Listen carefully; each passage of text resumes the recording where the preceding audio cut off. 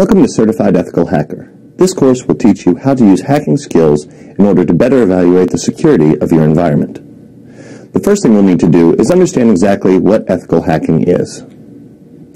Ethical hacking will familiarize you with the importance of information security, the elements of security, various phases of the hacking cycle, types of ha hacker attacks, hacktivism, ethical hacking, vulnerability research and tools, steps for conducting ethical hacking, computer crimes and implications, and some cyber laws in various areas.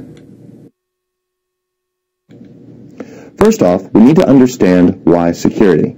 Security has become especially troubling in today's environment, and this is because of two main factors.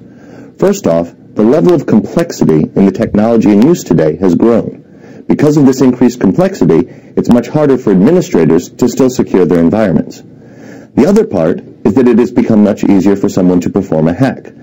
Since tools are freely available, the skill level required in order to hack has gone down. By this combination, it makes it very difficult to secure a modern environment. When dealing with security, we need to understand that one of the largest places of impact is a, is a customer's belief in the security of your company. By having a website defaced, this causes a loss of goodwill, and that equates to financial loss for the company. When discussing security, we need to make sure we're clear on essential terminologies. First off is a threat. A threat is an action or an event that might compromise security.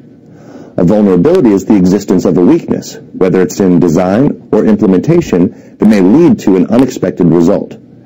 A target of evaluation is the IT system that we are going to test in order to see how complete its security is. An attack is an assault on the system security and an exploit is a proven way for a threat to use a vulnerability. When dealing with security, we need to understand something that used to be referred to as the CIA triad. However, it has now been updated to be CAIA. Confidentiality makes sure that we conceal data from people that should not be authorized. Authenticity ensures that the data is genuine. Integrity makes sure that it has not been modified. And availability Availability is one of the most important components of security.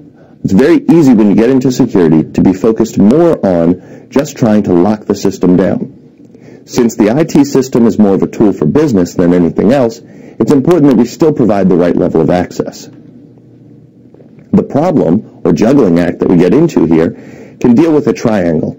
First off, that we have functionality, then we have security, then we have ease of use. Anytime you move closer to one, you move further away from the other two. A well-designed security system will take all these into account and plan accordingly.